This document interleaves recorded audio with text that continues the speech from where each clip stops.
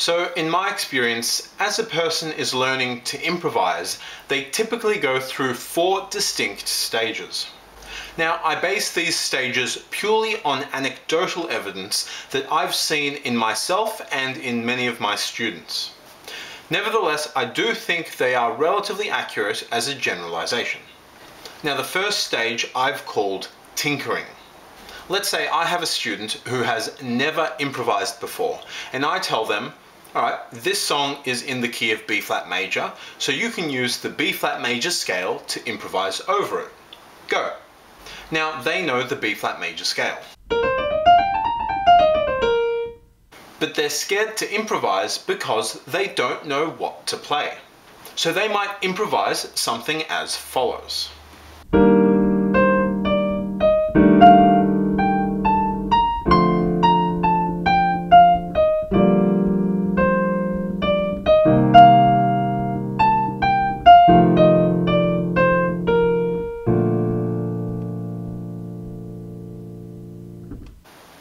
So they're playing somewhat randomly um, from the B flat major scale. They're playing quite softly, quite carefully, and quite hesitantly.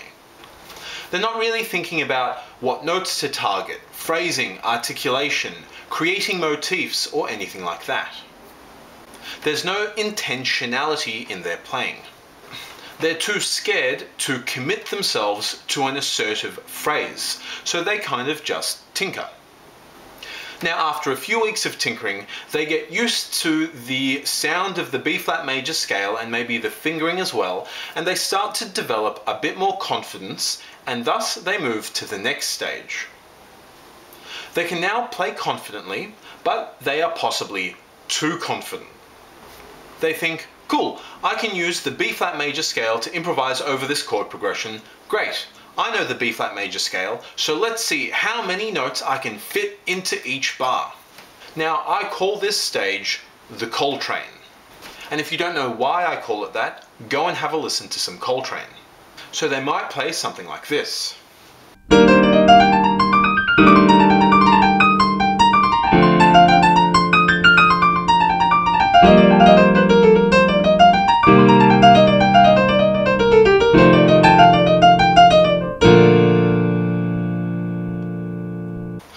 They are playing more confidently, loudly, and forcefully, which is great. They're no longer scared of improvisation or the B flat major scale. And that's a big step, right? That shouldn't be discounted. That's important. But there's still no intentionality and it's just a bit messy. The notes and the rhythms are still somewhat random. And there's still no phrasing or articulation. They're trying to be a little bit too fast, a little bit too ambitious, and a little bit too clever. But they don't have the ability to pull it off yet. Their fingers are running ahead of their ability to process the notes. They can't think as fast as they're trying to play.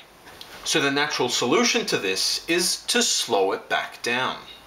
Now this is where improvisation gets interesting. The student is now comfortable with the B flat major scale and they can play lines up and down. But up to this point, their fingers have been doing all the work. They've just been playing somewhat random notes in the scale. But from this point onwards, it's the brain that's got to do the heavy lifting. And their fingers just externalize the thing that they're thinking or hearing inside their head. So you have to play only as fast as you can think.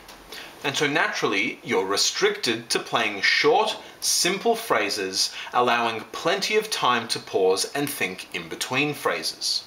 So you have to leave room for thinking. Now, I call this stage the Basie. And so it might sound something like this.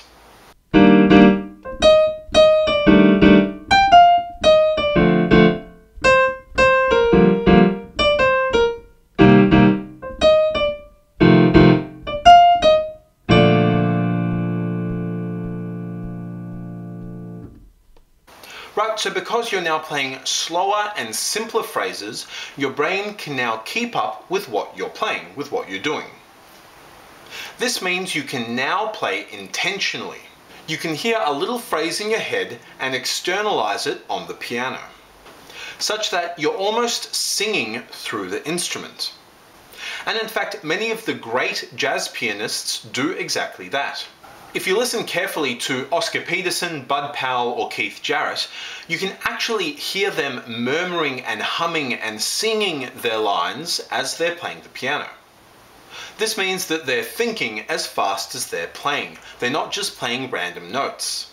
If they hear ba ba ba in their head, then they can simultaneously play it on the piano. Ba ba ba. And this means you can now create nice, smooth, melodic, lyrical, and pleasant lines in your improvisation. So you're not just rushing through the scale as fast as you can, going up and down. You're actually creating interesting phrases using that B flat major scale.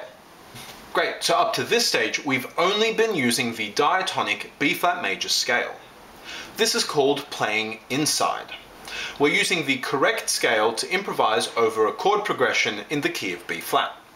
So finally, now that you're comfortable playing diatonic lines and making them sound smooth and melodic, we can start introducing more interesting improvisation techniques that I cover in many of my other videos.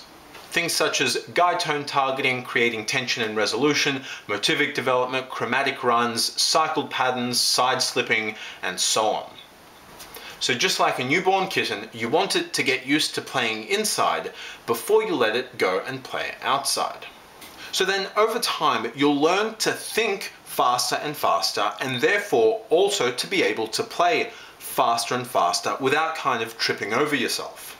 You can also dedicate more of your mental energy to phrasing and articulation so that you create interesting accented and syncopated rhythms as you play.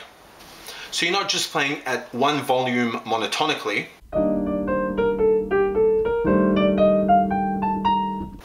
insert accents every now and then that gives it a little bit more punchiness um, and a bit more rhythmic interest.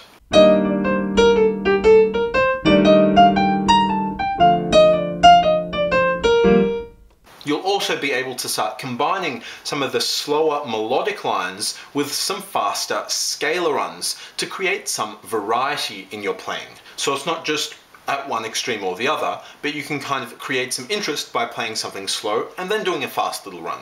Now this is the final stage of improvisation, where you can look at the entire solo holistically.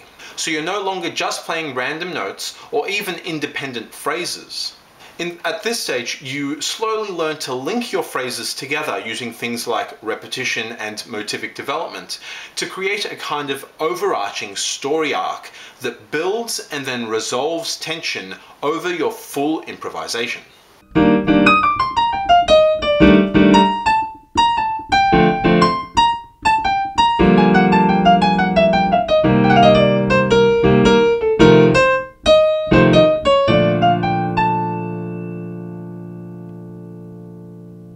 So have a think about what stage of improvisation you're currently in. And thus what you need to do to move your playing up to that next stage to further develop and improve your soloing ability. Otherwise, that's it for me. Thanks for watching guys, and I hope you found this somewhat useful. See ya.